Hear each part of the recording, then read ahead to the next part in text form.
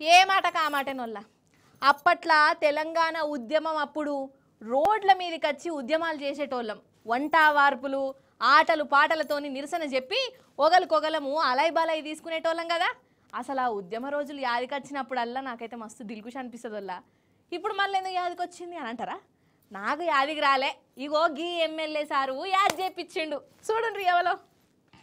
ఇగో ఇప్పుడు మనం ఉద్యమాల గడ్డ వరంగల్ దగ్గర ఉన్నామొల్లా ఇగో ఈ సారుని ఏర్పాటు చేసిర్రా? చీఫ్ విప్ వినయ్ భాస్కర్ సారోల్లా ఒకటే రోజుల ఎన్ని ఆటలు ఆడిండో ఎరికేనా? చూడుర్రిగా అన్నగారు ఇక ఫస్ట్ ఏం ఆట ఆడతారు? కబడ్డీ కబడ్డీ కబడ్డీ కబడ్డీ. కబడ్డీ కబడ్డీ కబడ్డీ.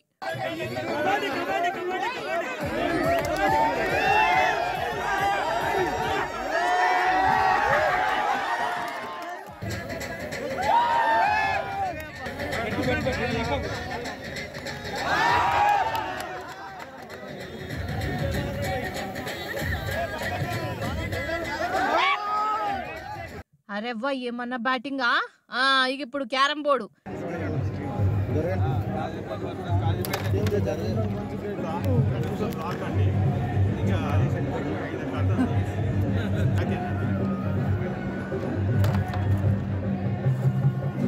క్యారం బోర్డు కూడా అయిపోయింది. ఇప్పుడు చెస్ చెస్ చెస్ అగో ఏమన్నా ఆలోచిస్తున్నాడు అసలు? సిపాయిని జరిపేందుకు?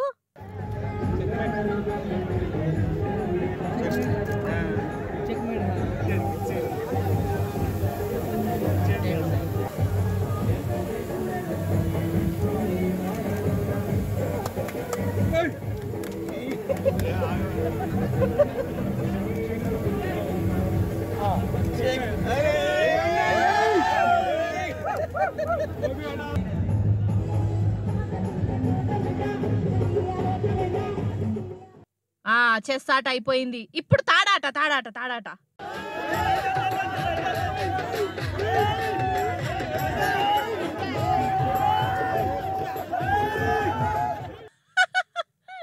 చూసిన రానల్లా? ఒకటే రోజు ఒకటే జాగల మన వినయ్ భాస్కర్ అన్న గిన్ని గనం ఆటలాడిండు అయితే వీళ్ళందరూ తెలంగాణ ఉద్యమకారులను టీఆర్ఎస్ కార్యకర్తలు. వినయ్ భాస్కర్ అన్న ఈ రాజకీయాలు గీజకీయాలు అన్ని పక్కకు పెట్టి వీళ్ళందరితోని మంచిగా కలిసి మాట ముచ్చట పెట్టి ఆటలు పాటలల్లో మునిగిపోయి ఇగో ఇట్లా ధూమ్ధామ్ చేసిండోల్లా కానీ ఏ మాట కామాటేనులో ఎవలన్నా కానీ ఒక్క ఆటల తోపులుంటారు. కానీ మన వినయ్ భాస్కర్ అన్నకు ఏ ఆట అయినా కానీ ఫస్ట్ ప్రైజ్ కొట్టేటట్టే ఉన్నాడు పా.